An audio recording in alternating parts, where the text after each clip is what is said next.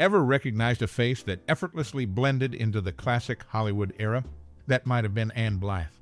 Can you recall the first time you watched a film featuring this iconic actress? Whether it was captivating performances or the roles taken on, there's something unforgettable about her on the silver screen. As we delve into the life and career of this Hollywood gem, we're curious what's your most cherished memory or personal experience related to Ann Blyth. Share your stories and memories in the comments below. And here's a heads up stay tuned for some funny, shocking, and even sad facts about this classic Hollywood actor. Keep watching for a journey through the lesser known facets of Ann Blyth's life. What's your Ann Blyth story? We'd love to hear it. Born in 1928 in Mount Kisco, New York, Ann Blyth's early life laid the foundation for her later success in Hollywood. Raised in a modest family, she navigated the challenges of the Great Depression, shaping her resilience and determination. Growing up with two brothers, she found herself immersed in a supportive family environment. Her journey into the entertainment world began in her teenage years when she caught the eye of a talent agent. Natural charisma and talent earned her a spot on Broadway, marking the commencement of her acting career. The transition from the stage to the silver screen happened seamlessly as she soon found herself cast in Hollywood productions.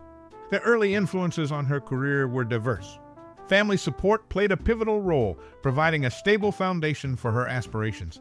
Additionally, her experiences during the challenging times of the 1930s contributed to her ability to connect with characters on a deeper level. One significant turning point in her early career was the breakthrough role in the film Mildred Pierce. Her portrayal of Veda Pierce showcased acting prowess and versatility. The success of this film catapulted her into the spotlight, establishing her as a sought-after actress in Hollywood. Navigating the intricacies of the film industry, her early experiences were shaped by a combination of determination, familial support, and the ability to breathe life into diverse characters. These formative years set the stage for a career that would leave an indelible mark on classic Hollywood.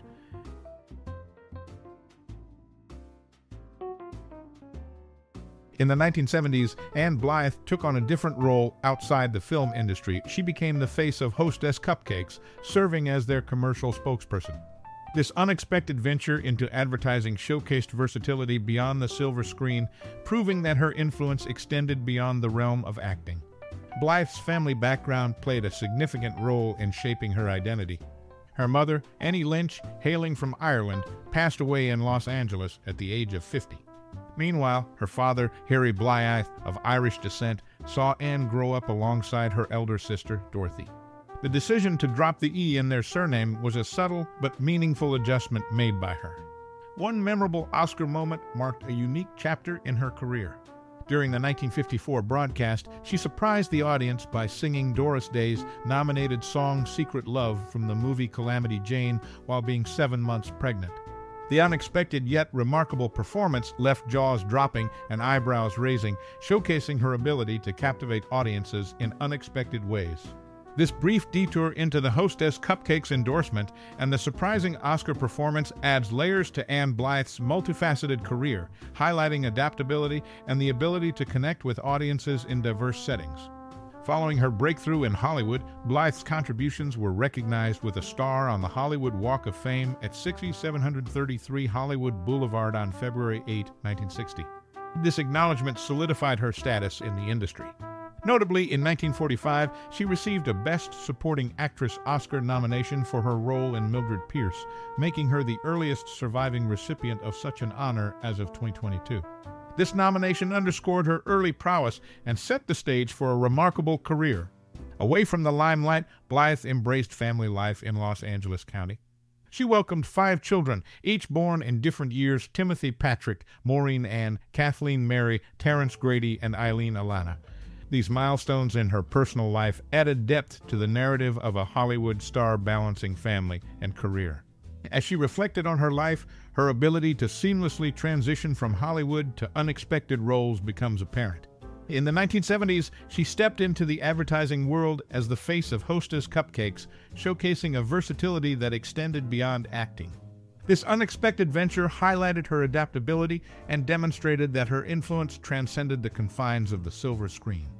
Family played a crucial role in shaping her identity. Her mother, Annie Lynch, and father, Harry Blythe, both of Irish descent, provided the foundation for her journey.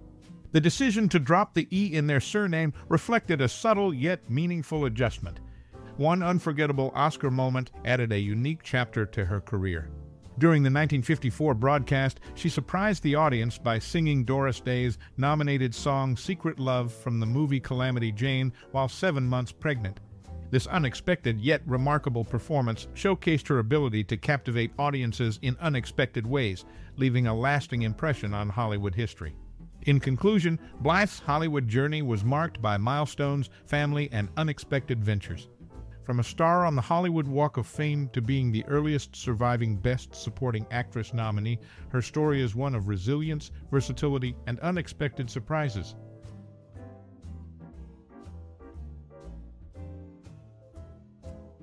Ann Blyth, a staunch conservative Republican, consistently lent her support to political figures such as Dwight D. Eisenhower, Richard Nixon, Gerald Ford, Ronald Reagan, George Bush, and George W. Bush.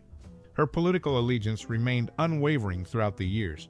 In the film The Helen Morgan Story, Blyth's own beautiful voice was purportedly dubbed by singer Gogi Grant. The reason behind this substitution was her voice's classical training and high-pitched nature, which led to the decision to bring in a vocalist with a different style. For decades, Ann Blyth maintained her primary residence in Toluca Lake, an upscale community in the San Fernando Valley. This locale became synonymous with her private life, providing a serene backdrop away from the hustle and bustle of the Hollywood scene.